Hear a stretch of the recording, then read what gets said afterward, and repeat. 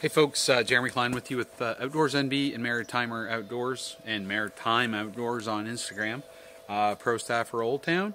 Today I want to, basically we're going to unbox or unwrap an Autopilot 136. Just have a look at the features that I know about uh, and we'll go over everything on the boat. So let's dive into it.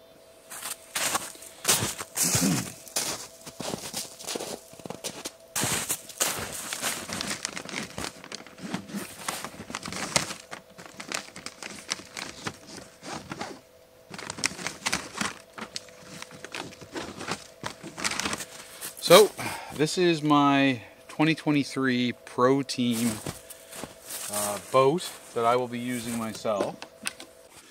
Alright, so what we have, we have our prop, some instructions for wiring and the battery.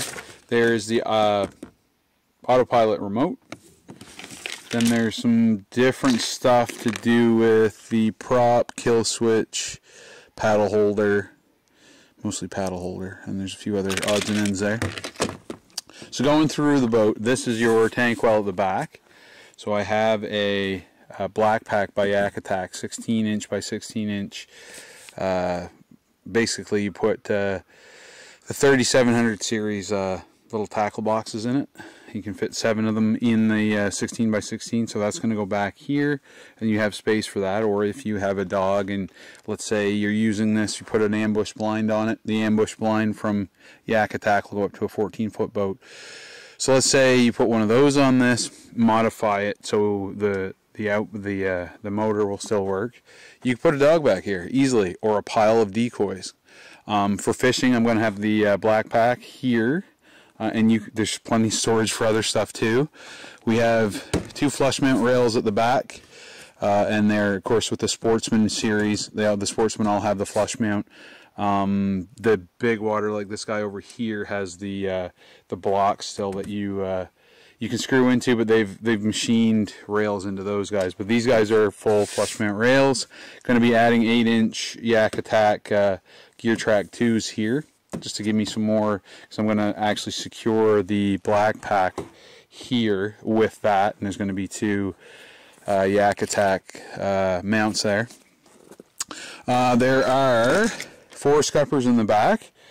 Um, there's a scupper in the battery well which has the the uh, low profile plug in it, uh, scupper plug, one way valve. On the side of the boat right side you have a small with a gasket storage compartment so you can put that will actually fit I believe my Note 20 uh, 5G Plus in there by the looks of it which is really cool. And then that is right beside the seat. When the seat is down I have it pushed forward right now. So uh, and we are going to be using there's a pile of different batteries. If you're looking for now I can't speak to the quality of the battery yet but I have uh, Eco Worthy is the battery that that I kind of went with. It was on sale for $400 down from 700. So 100 amp hour is what everybody's suggesting. If you watch uh, Ryan's videos, or uh, I believe it's Tyler uh, from on also on the pro staff, uh, he recommends 100 amp hour for the motor, as does Old Town in general. Um, but the guys that have been using it, they've gone with, so that's what I went with is 100 amp hour. And what I plan on doing is putting probably a, another 30 amp hour down in here, and we may go with a power distribution because I plan on putting, if we go to the back here, Old Town with a lot of the Sportsman series, they have uh, a spot already designed for shallow water motor mount. Now, videos I've watched online, if you put the, uh, what I'm going with is a power pole micro, if you put the power pole micro here, uh, it can interfere with the rudder at full left rudder. So Navarre Kayaks down in, I believe, Florida, they make an offset plate that I already have on order. That offset plate is going to bring us away from the rudder, so we don't have that interference. So there's that to keep in mind. So power pole is going back here. I'm going to direct wire. Uh, I'll use one of Old Town's, which this does come with through hull kits already. There's, uh, I believe, three. One, two, and there's a third one somewhere. I just don't know where yet, but I, I'm pretty sure there's three somewhere. Um, so I'll do a, th a, through hull that I'll install myself back here for that power pole. I may, depending on what, what I end up doing with this, aside from I do plan on uh, our local uh, in New Brunswick, which is Canada's premier uh, kayak fishing tournament, Hook and Paddle, big plug for them. Um, I'm going to be doing as much of that as I can this year. Uh, but beside from that, I don't know how much nighttime stuff I'll do some nighttime, so I may install some some lights and stuff.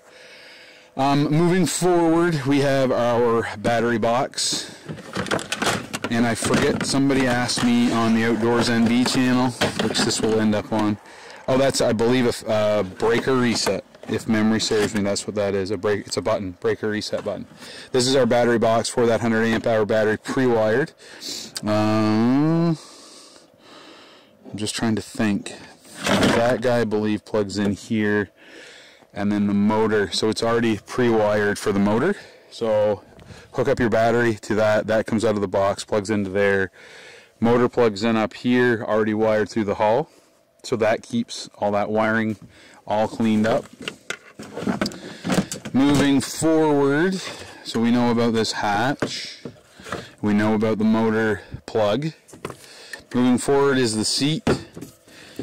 And this is the seat that everybody wants, I'm pretty sure. There's two seats. There's the top water seat and then there's the sportsman seat. And I'm pretty sure most folks were happier with the sportsman seat than the top water one.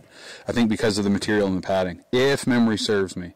Sold a lot of both uh, with Outdoors NB, but I don't remember. So the seat has two, basically a lower and a higher option.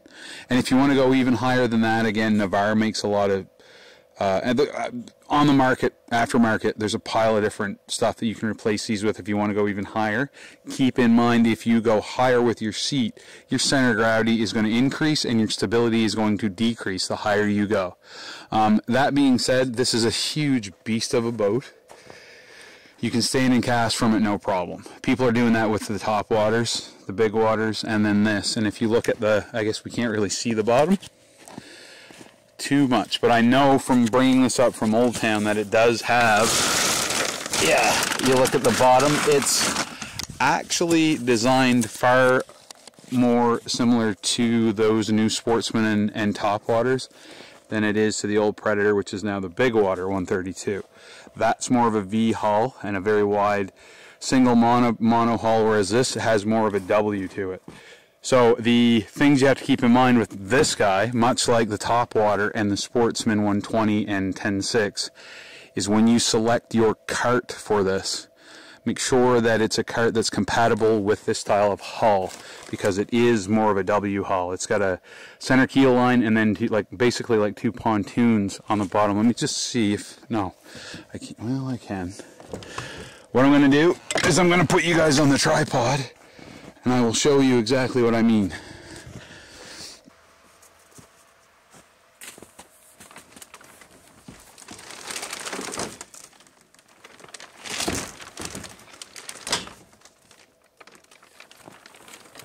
Anyway, you can see this is definitely not like the Predator before it. It's essentially the same hull design as the uh, Topwater and the Sportsman. It has like a W hull bit of a keel at the back here, and that's going to give you better tracking. And then these two, basically these two pontoons similar to a catamaran are going to provide superior stability in fairly dynamic water. Uh, obviously the wider that you go with the boat, and you can see a lot of my social media posts about stability, the wider the boat is, the less control you have over it. And that's why these things are great for basically flat water to moderately dynamic water uh, any wide boat, any sit on top, any wide recreational boat. So they're great for stability for standing and casting and up to fairly moderate uh, sea state for a kayak for small craft. Uh, so yeah, this this has got this design, which I'm glad to see. I wasn't really sure because I didn't do a lot of research into it before I uh, before I ordered it, but I'm very glad to see that. So I've got to, the way I'm kind of transporting it is I've got the bunk set up for it, and I've got the bunk sitting in here, and they actually work quite well. I've got to do a little adjustment to it. but I just want to be careful too that it's being supported where it's strongest and I think there's some a fair bit of strength in these angles in here but maybe I'll talk to Old Town and just see what they recommend for supporting while transporting and maybe they'll say upside down because that is a great way to transport stuff and to, to store it even is upside down with these so I'll talk to them and see but so moving forward uh, rod holders that come included. There's four flush mount, two behind the seat, right at the, the front of the, the tank well, and then just forward of where the seat is, you have two more. So you can have two out of your way in the back, and then depending if you're, let's say you cast to your left, you can have a rod in the rod holder on the right, and be casting with the one that would go on the left here. So you can have storage for four rods uh, ready to go. Um, and then I'm going to be actually installing some stuff uh, again, uh, that I have, there's a, a lay down rod holder setup that I'm going to give a go. Uh, moving forward, the this particular sportsman is equipped with the uh, I think it's Evo or the the pads on the deck here. So uh, another thing, uh, obviously, if you're going to use this for hunting, which we're going to do this fall, I really want to show you guys this there's piles of room if you wanted to basically lay. I can set the seat here, lay the back back, and I can lay down in this thing if I want to lay. So the ambush, I can use it as a layout blind, which is designed to do. I just got to figure out what to do with the, the motor when I'm doing that. So motor, uh, the uh, compartment for the motor comes with a plug if you want to paddle. I mean, this would be a big boat to paddle, but it is doable for sure. So there's the plug and then your motor sits in here, clamps into this uh, motor mount, uh, stainless steel. And there is a kill switch here set up. And I noticed, I got to do some reading on this, but there's a handle attached to it on the pulley system. So I assume we can pull stuff up with this. So there's a magnet in here, if I'm reading all this right. This is all new to me. I've sold a couple of these, but I've never used one. So it's new. That's part of the kill switch stuff, I believe. Kill switch magnet carrier, yep. Adjustable up and down for the varying temperatures and environment conditions.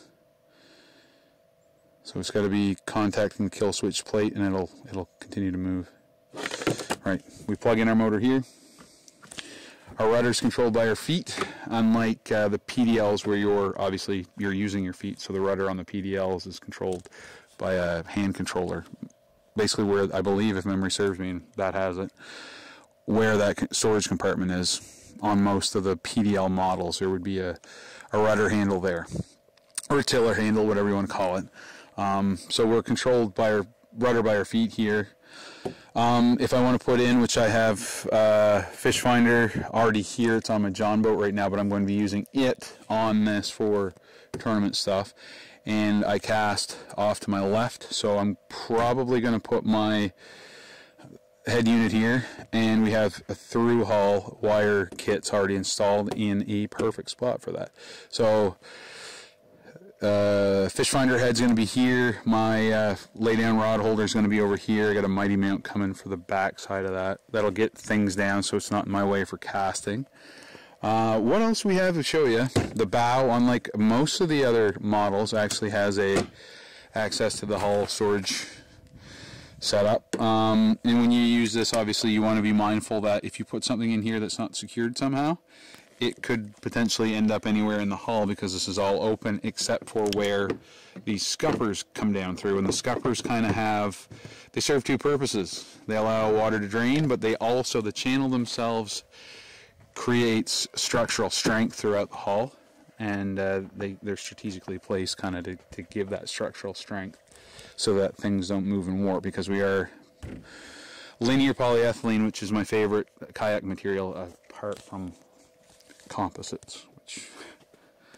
I don't want a composite fishing kayak because I hit stuff a lot right so anyway um, flush mount rod holders up front we have carry handles here, carry handle up front. I am replacing this and that with the Navarre handle, which allows you to mount directly on the handle. So that's coming. Uh, the plate for the back is coming from Navarre. Um, we have a bunch of Yak Attack stuff coming to trick this puppy out, which I'll do another video once I get everything. I've got some Scotty stuff already here, some Railblaza stuff already here that can go on now. But once I get everything together, get it kind of set up, we'll we'll do a video again. But so this is the boat. It comes in that tackle box is a paddle holder for here, so your paddle would go along the length of the boat, obviously. But I mean that's that's just a real brief overview, the general gist of things. If you have questions, I'm sure there's stuff that I didn't go over that you guys want to see.